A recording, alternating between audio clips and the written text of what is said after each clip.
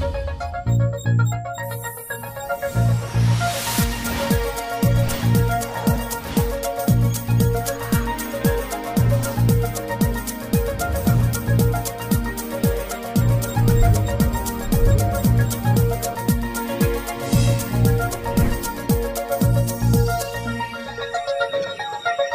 Lunes 25 de enero, muy buenas noches, bienvenidos a la nueva cita con la información aquí en Noticias Sierra de Cádiz, en Canal Sierra de Cádiz. Otra jornada más, otra semana más que tenemos que arrancar hablando de los datos del COVID que no paran de darnos disgustos, la verdad, sí, sin paños calientes. Eh, hoy la comarca de la Sierra ha tenido que afrontar una nueva subida en los datos de PCR positivos, de pruebas positivas en los últimos 14 días. Ya son 889 personas las que se supone que están eh, sufriendo el virus ahora mismo en la comarca de la Sierra, ya decimos, diagnosticadas los últimos 14 días, con una tasa de incidencia de 768,8 eh, de media en la comarca, pero la situación se pone todavía peor en algunos municipios. Hoy es cuando se tenía y se mm, ha decretado finalmente el cierre del comercio no esencial y la hostelería eh, en, municipios como Prado del Rey o Setenil de las Bodegas que la semana pasada, que a final de la semana pasada ya alcanzaron la tasa de contagios de los mil. Pero es que no ha quedado ahí la cosa, sino que tres municipios más de la comarca de la Sierra también se unen a este club que sobrepasa los mil, por llamarlo de alguna forma. Arcos, Algar y Villamartín. Por tanto, ellos también tendrán que cerrar sus comercios no esenciales y su hostelería en la noche que va del martes al miércoles a las 12 de la noche en concreto.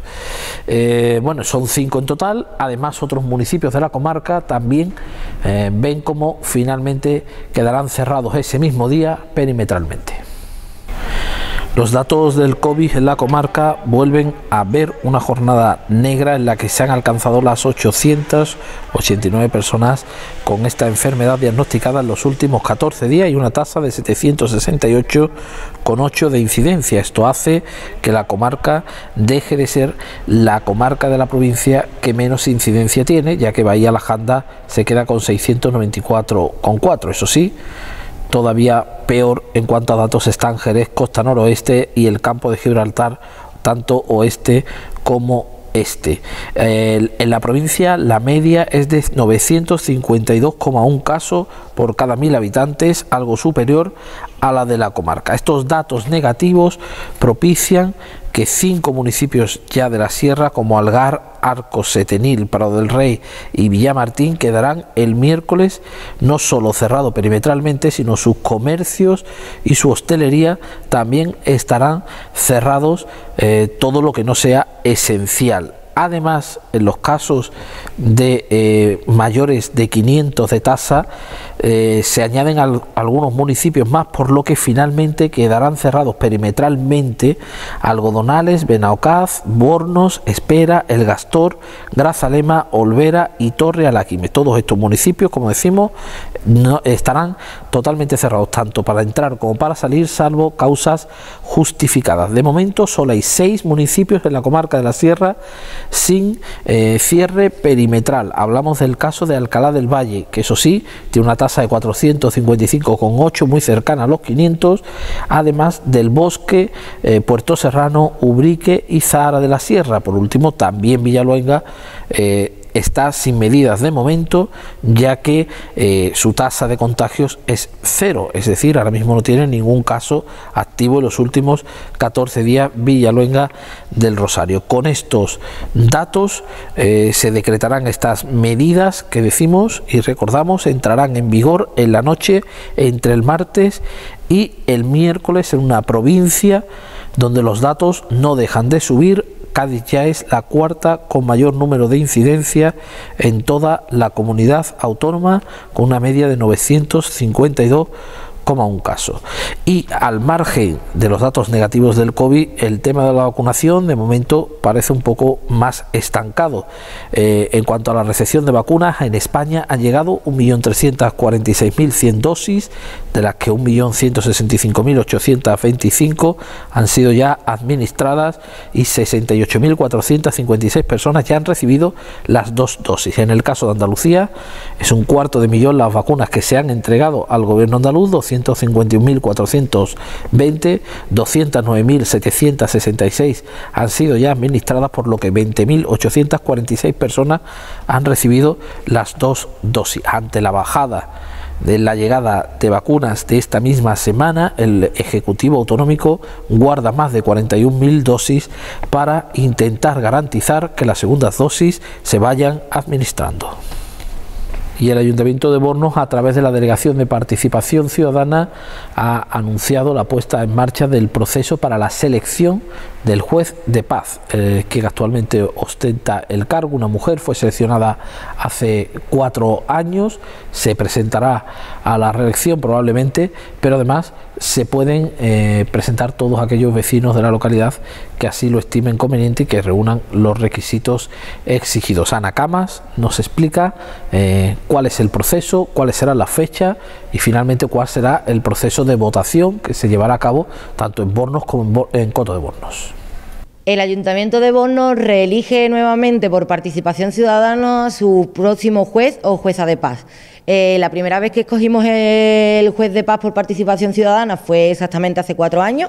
La, actual, la actual jueza de paz Gertrudis Sierra eh, cumple ya sus cuatro años de mandato y tenemos que reelegirla a ella en el cargo o cualquier otro ciudadano o ciudadana que, se presente. Eh, las fechas claves en este proceso son a partir del 22 de febrero hasta el, del 22 de enero, perdón, hasta el 31 del mismo mes de enero la presentación de candidatura. Esta presentación de candidatura se hace de una forma muy sencilla, simplemente mediante presentación de escrito en el ayuntamiento de la oficina de registro del Ayuntamiento de Borno o la oficina de registro de Coto de Borno o de manera online en la sede electrónica del portal web del Ayuntamiento de Borno. Eh, una vez el 31 finalizado el plazo, el día 1 se estudiarán las solicitudes, eh, si cumplen los requisitos, y el día 1 se publicarán las personas que han sido seleccionadas, aceptadas, para optar a, a juez de paz. Y durante esa semana, del día 1, 2 y 3, se hará la campaña electoral que los diferentes candidatos quieran realizar y los días 4, 5 y 6 de febrero serán los procesos participativos, en los días de elección. Eh, para estas elecciones se, pondrán dos urnas disponibles, una en Bornos y otra en Coto de Bornos.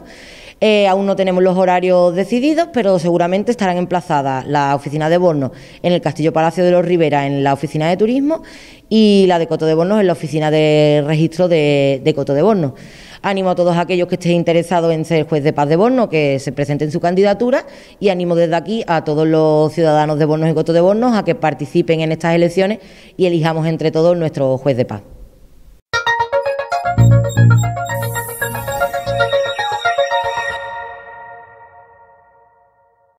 Y en Arcos la policía local ha recibido nuevo equipamiento tecnológico para luchar contra una lacra social como es el tema de la droga, para poder realizar eh, controles de droga, sobre todo relacionados con el tema del tráfico. La delegada municipal de Seguridad Ciudadana, en, un acto en el que eh, se dirigía a los policías locales, explicaba así en qué consiste este nuevo equipamiento.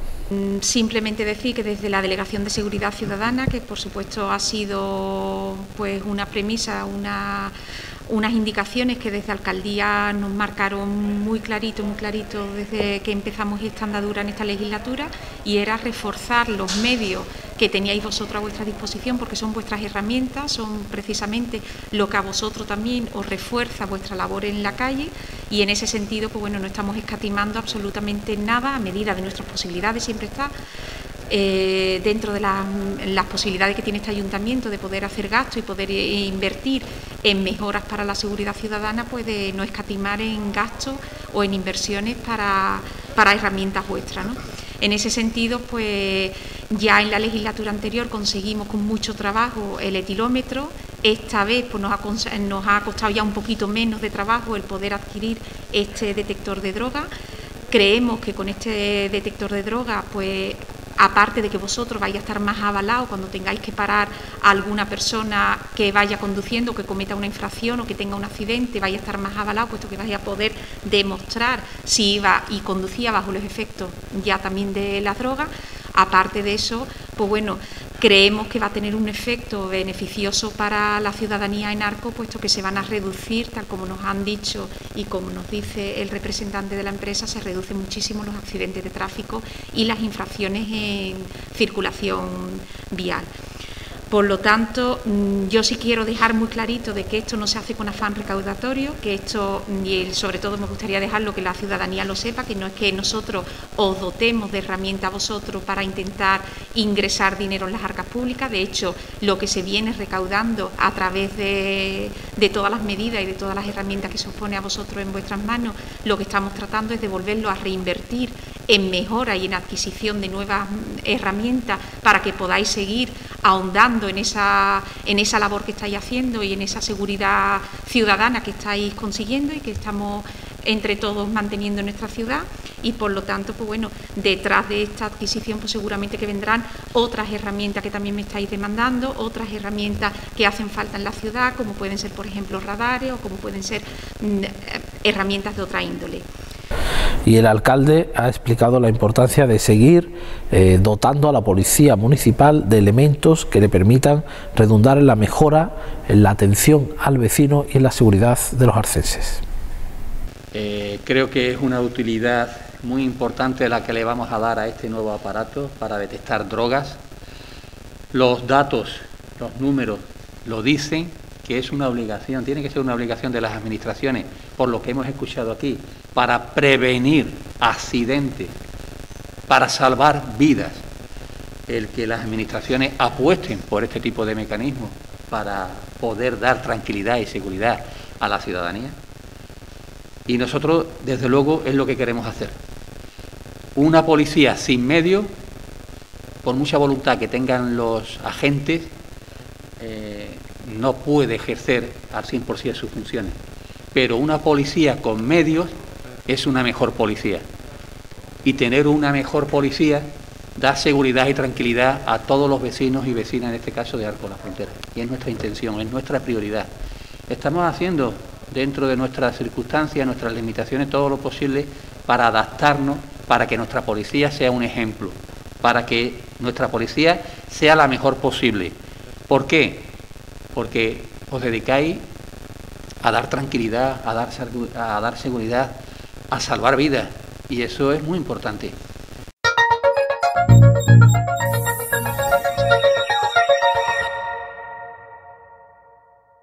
y desde la Fundación MOVES del Centro Tecnológico de la Piel han entregado al Instituto de Empleo y Desarrollo Tecnológico de la Diputación una distinción, dicen, por la transferencia de conocimientos. La Fundación MOVES ha concedido al Instituto de Empleo y Desarrollo Socioeconómico y Tecnológico de la Diputación de Cádiz el premio a la transferencia de conocimientos en la categoría de instituciones. La responsable del área de empleo de la Diputación, Ana Carrera, ha sido quien ha recogido esta distinción de manos del presidente del MOVES, Cristóbal Piña, en un acto celebrado en el Centro Tecnológico de la Piel de Ubrique y en el que asistieron, entre otras, la alcaldesa de la localidad, Isabel Gómez, y Pepe Montiel, director de la firma Betangribel. Diputación contempla la industria de la piel y la marroquinería como uno de los sectores estratégicos esenciales de la provincia de Cádiz. Destaca la institución provincial en una nota. Esa consideración, aseguran, se ha percibido en los últimos años en la promoción de iniciativas generadoras de empleo por parte del IEDT y que concilian formación avanzada con prácticas en empresas, intervenciones como el DIPU Joven o las estrategias aplicadas junto a la Confederación de Empresarios de Cádiz han tenido reflejo en Ubrique con la formación de diferentes alumnos y su posterior inserción laboral. Ana Carrera ha recordado este bagaje tras recibir la distinción, así como las misiones comerciales que se han emprendido junto a cámaras de comercio de la provincia para fomentar el comercio exterior para las empresas participantes. En alguna de estas ferias y seminarios ha participado el MOVES. La diputada de Empleo lamentó el lastre ocasionado por la pandemia en todos los sectores productivos En el caso de la piel destacó los valores asociados a dicha industria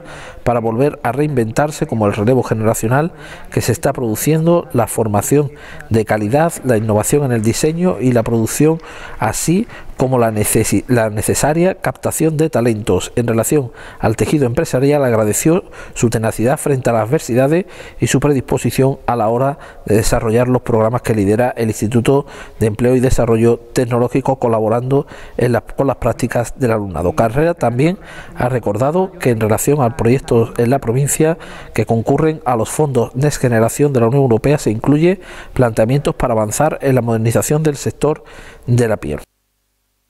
Y ahora vamos a conocer las previsiones del tiempo de la Agencia Estatal de Meteorología.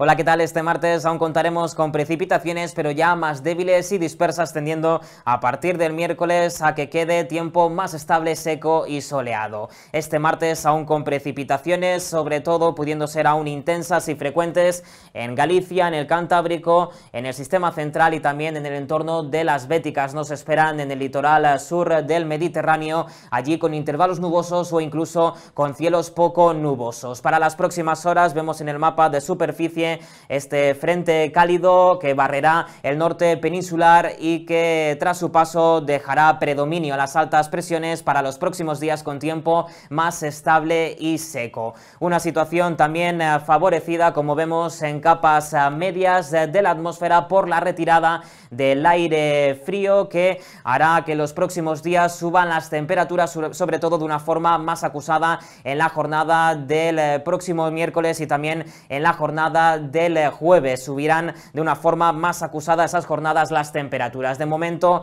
este martes, eh, predominio en la península aún de cielos nubosos o cubiertos con precipitaciones, principalmente en eh, Galicia, en el Cantábrico, en el sistema central y también en el entorno de las Béticas, con cota de nieve en la Cantábrica 1900 metros, 2300 en el sistema central, 1700 en la Ibérica, con nubes bajas y nieblas matinales también en zonas montañosas del interior peninsular y también en áreas próximas a esas zonas montañosas con cielos más despejados, en el litoral mediterráneo intervalos nubosos en Baleares, más nubosidad en Canarias, en el norte de las islas de mayor relieve, cielos poco nubosos en el sur, allí con viento en régimen de alisios. Por la tarde seguirán predominando en gran parte de la península los cielos eh, nubosos o cubiertos y aún persistirán las precipitaciones, sobre todo en Galicia, en el Cantábrico, en los Pirineos, sistema central y en las montañas sierras del eh, sureste de la península en el resto tiempo más estable y seco, cota de nieve en los 2.400 metros en la Cantábrica, 1.700 en el Pirineo Ostense, 1.400 en el Pirineo Catalán y en el resto cielos eh, más, menos nubosos con tiempo estable y seco. En cuanto a las temperaturas, esta jornada de martes, unas máximas que subirán en el centro y en el norte peninsular de una forma más acusada, como vemos en el Cantábrico y también en los Pirineos, bajarán esas temperaturas en el litoral de Levante y también en Baleares, en grandes cambios en las máximas en eh, Canarias, eh, con unos valores para esta jornada eh, de martes en el país de 15 grados en Bilbao de máxima, 13 en Valladolid, 15 en Madrid, 19 en Badajoz, 21 de máxima en Murcia, 14 en Palma o 22 en Santa Cruz de Tenerife. Y de cara a la jornada del miércoles, como vemos, esas máximas subirán en todo el país de una forma más acusada en el nordeste, en el litoral de Levante y también en el archipiélago balear. Esto es todo, nosotros lo dejamos aquí. Si desean más información, no duden en consultar nuestra página web.